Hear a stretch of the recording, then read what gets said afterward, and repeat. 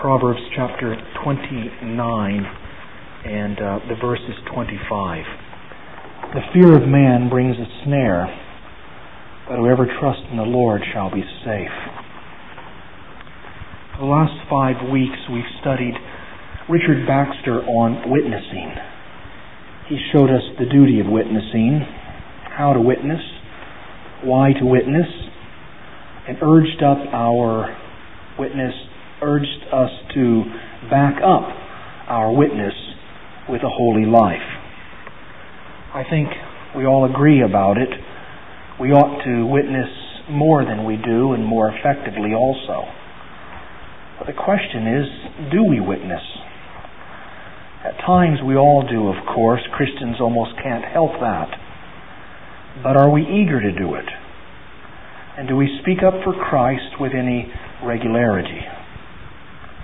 Well, if we don't, why don't we? Well, you know why you don't. Because it's scary. If you do it, people will laugh at you or exclude you or not like you anymore. In extreme cases, people will even persecute you if you witness for Christ. And so we don't witness much because we fear man. Now, some fear is good. The Bible says there is a time to speak and a time to keep silent. Our Lord Jesus knew that some men will not listen. And so he told us to not cast our pearls before swine, lest they trample them underfoot, turn around, and tear into us. But caution, like other good things, may be overdone. In the name of prudence or wisdom, we mustn't become cowards. The fear of man is sinful, Baxter says, when it ascribes more to the creature than is its due. In other words, it's wrong to fear men when we fear them more than God, or when we'd rather disobey the Lord than offend an unbeliever. In some people, this fear is overwhelming. They'd rather do anything in the world than to speak up for Christ. In his commentary on Proverbs, Charles Bridges knew veteran soldiers who, quote, were bold to face danger but would shrink from shame. They fearlessly faced the cannon's mouth, yet are panic stricken at ridicule. Most of us, I hope, are not that far along, but you know, to be honest, even a little bit of fear goes a long way in suppressing our witness for Christ. What do we do about it? How do we face our fears and overcome them for Christ's sake? Well, Baxter has a whole lot to say on this topic. Some of it tonight we'll look at. The number one thing to do if you really want to overcome your fears and to speak up boldly for Christ is value heaven more than earth. If you want to overcome the fear of man, you've got to value heaven more than earth. Here's what Baxter says. Lay up your treasure in heaven. It is a base, worldly heart that makes you afraid of men. Are you afraid they will cast you into hell? Are you afraid they will turn God against you? Are you afraid they will hinder one of your prayers? Are you afraid they will keep God's Spirit out of you? Are you afraid they will rob you of your grace? No. It is the hurting of your flesh or the diminishing of your reputation that you fear. Now, that's not very fun to read, but it's certainly true. The reason we fear men so much is that we value the things they can take away from us more than the things they can't touch. Why is rejection so painful? Because we want approval. If we didn't want it so badly, we wouldn't deny the Lord to have it. So what if sinners laugh at you? What it, why is their acceptance so all-fired important? It is nothing but worldliness, or valuing the opinion and the acceptance of men, that makes us so reluctant to speak up for Christ. Jesus Christ said, Put ye first the kingdom of heaven and Paul said, Set your mind on things above and holy Christians in every age have always valued heaven more than earth, and the good of their souls than the comfort of their bodies. And so the fact is, the reason we're so afraid to speak up, offend people, or even be offended is that we value the things of earth more than the things of heaven. So we've got to reverse that if we're going to speak up boldly for Christ.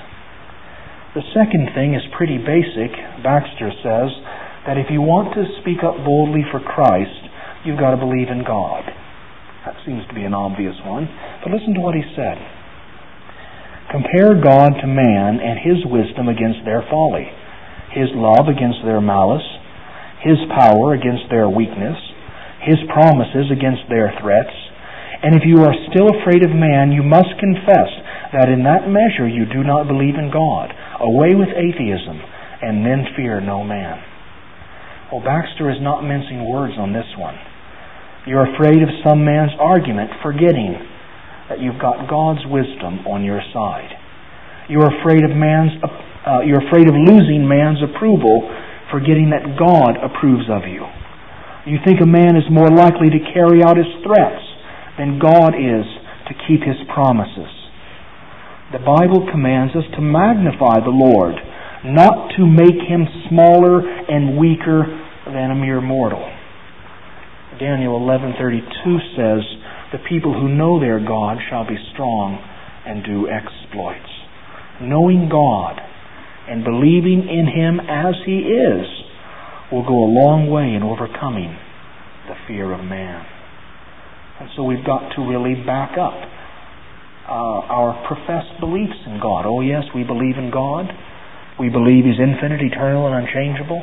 We believe He's true and almighty and loving and so forth. And then we stand before a friend and we're afraid to witness to that person because we're afraid God won't be with us.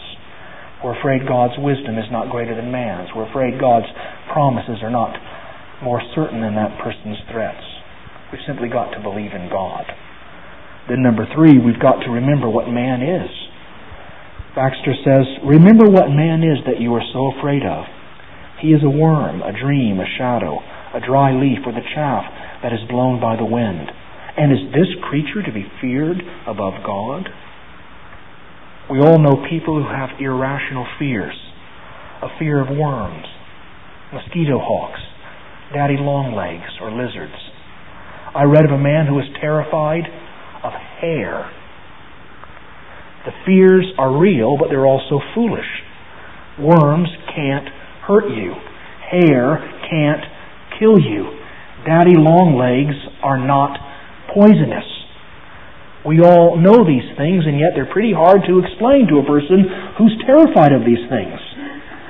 Well, you know, in the long run, man can't hurt you either. They can make this life pretty bad, of course, but this life is not the only life. In fact, for the believer in Christ, it is but a shadow of the real life that awaits us in glory. The fear of man is not only sinful, it's stupid. Psalm 118, verse 6 says, The Lord is on my side, I will not fear. What can man do unto me? And the answer is, he can't do much.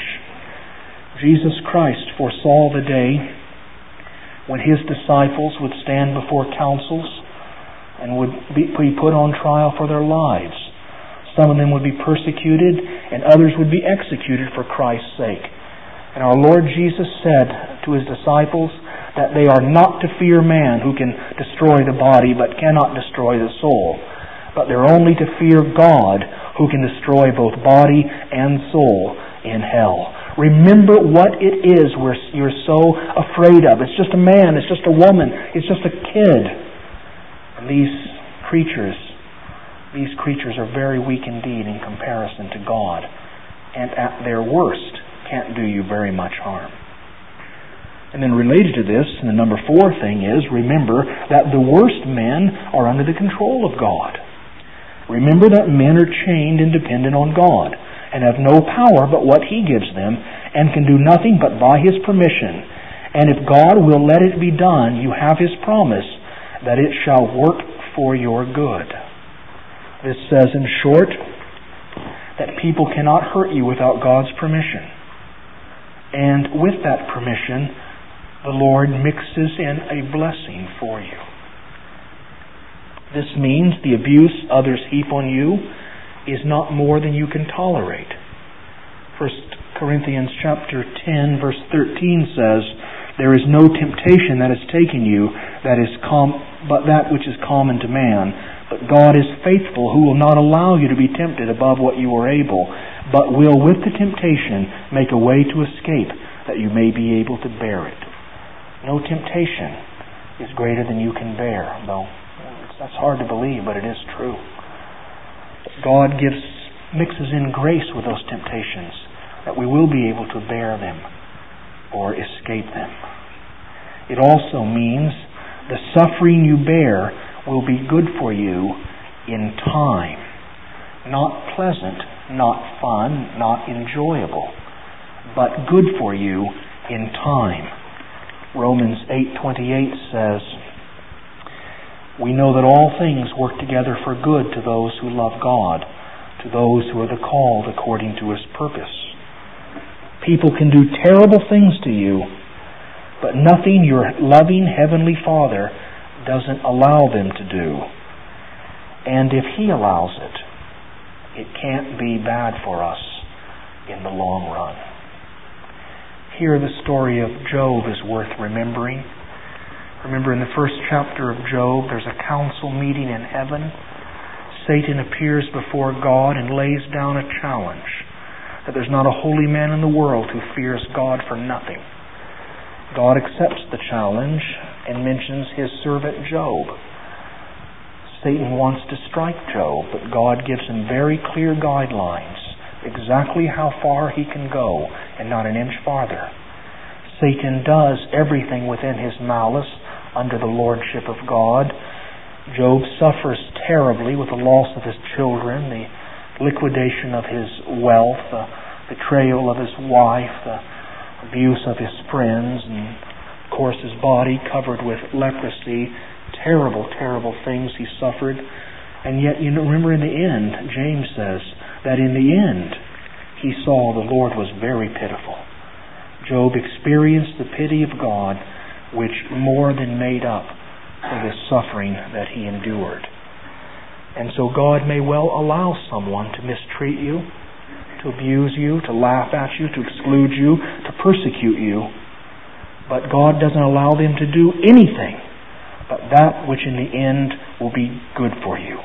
Hard to believe, but the Bible does teach that, and believe it we must.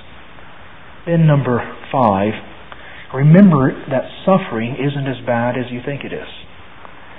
C.S. Lewis wrote a very fine book called The Problem of Pain. And I think it's right on the first page of this book. He says that he himself, he himself does not cope with pain very well. And I certainly agree with him on that one. Pain is not something I am very good about. But whether I'm good at it or not doesn't change the fact that suffering is not very uh, is not as bad as you think it is. Suffering is never pleasant, it's never fun. That's why it's called suffering. But these painful experiences are not as bad as you think they are about them, Baxter has a lot to say, such as, If you suffer for doing well, remember that Christ commands you to rejoice exceedingly. Unless our Lord is a lunatic or enjoys to see his enjoys seeing his people suffer, there must be something good in the suffering he commands us to celebrate. And Baxter tells us what it is. Suffering provides a great help to holiness. Suffering is the ordinary way to heaven. Remember how small and short our suffering will be compared to the long and glorious reward. Remember that martyrs have the most glorious crown, and remember that the disciple is not above his master. His every point is worth developing. He says suffering provides a great help to holiness. Of course it does. It breaks pride and worldliness, increases our felt dependence on Christ, and makes us long for glory. Suffering is the ordinary way to heaven. That's certainly what the Bible teaches. All who live godly in Christ Jesus will suffer persecution. It is through much tribulation that we enter the kingdom of heaven. John Bunyan compared the believer's life to a pilgrimage, a long, hard, exhausting, and dangerous journey. Years later, the American uh, novelist Nathaniel Hawthorne saw that most Christians were doing little more than going to church on Sunday. He wrote a spoof or a parody of Bunyan's book called The Celestial Railroad or how to get to heaven in luxury and with no effort. Of course, he was joking about that. There is no way to heaven without effort, without suffering. Baxter says how small and short our suffering will be compared to the long and glorious reward. Romans 8:18 makes that point, for I reckon that the sufferings of this present time are not to be compared to the glory which shall be revealed in us. That's easy for me to say, for I've suffered very little for Christ. But I didn't say it. It was Paul who said it. And no one but our Savior suffered as much as he did. Yet he called his sufferings a light affliction, which is but for, which, are, which is but for a moment. How small and short our sufferings will be compared to the long and glorious reward. And then remember that martyrs have the most glorious crown. This speaks for itself. The worst a man can do is kill you, yet for the believer, death is gain. And death for Christ's sake is a coronation. Jesus Christ said to his church, Be faithful unto death, and I'll give you the crown of life. And then remember that the disciple is not above his master. If your Savior, Jesus Christ, went to heaven by way of the cross, why should you expect to get there without suffering for his namesake? Isaac Watts has a great hymn. Must I be carried to the skies on flowery beds of ease, while others fought to win the prize and sailed through bloody seas? The implied answer is no, of course not. If Jesus Christ went to heaven by way of the cross, and if the early Christians all went to heaven after much tribulation, why do we expect to go to heaven without it? Are we greater than our Master? Did Jesus Christ make a shortcut for, for us, a shortcut to heaven for us? He went the long way so we could take the short way? The Bible surely doesn't teach that.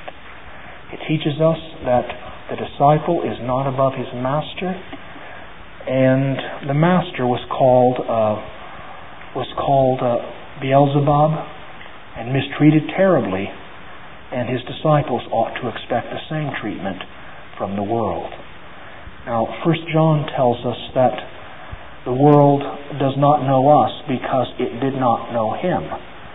And just as the world did not know and value Christ, so the world doesn't understand and value his people. Therefore, the world persecutes, hates, despises, laughs at, ridicules, and excludes the disciples of Christ. So, brothers and sisters, let's get it straight. Speaking up for Christ leads to suffering. In some places, it leads to death. You know, in Saudi Arabia, it's against the law to, to uh, evangelize someone from the Muslim religion. And the penalty for that is death. And though it's not as severe in most other places, in many other places, there are criminal penalties involved with uh, witnessing for Christ. Well, we don't have that persecution here yet. We might someday, someday soon perhaps. But at the moment, the persecution, the suffering that we have to endure is a comparatively is comparatively minor. We have to endure exclusion. We have to endure ridicule. We have to endure being not liked, unpopularity, and these are painful things. They really are. And yet suffer them we must if we want to be faithful to our Savior, Jesus Christ. And if we want to be good to the souls of those people who do laugh at us and exclude us. The gospel should be delivered as sweetly as possible.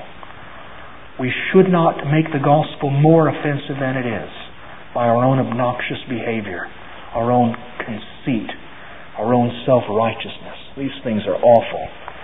But no matter how sweetly de- delivered, the gospel remains a stumbling block to the Jews and foolishness to the Greeks. In other words, the gospel is going to do one of three things. It's going to save the person you witness to, or it's going to enrage him, or it's going to make him laugh. You can expect one of those three responses. And we ought to. And not to fear the displeasure of man.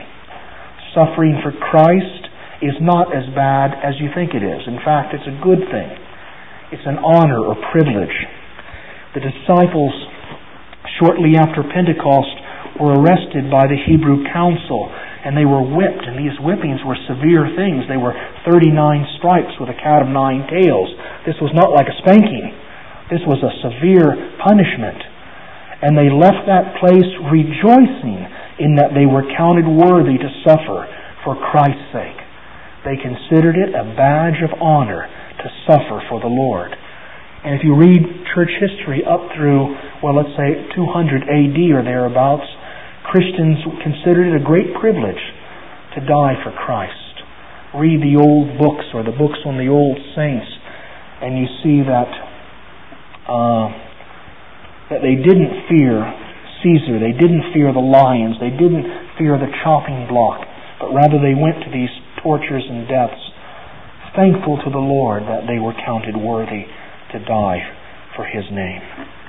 And so let's get out there and witness, and may God give us the courage and patience to see souls saved for Christ's sake.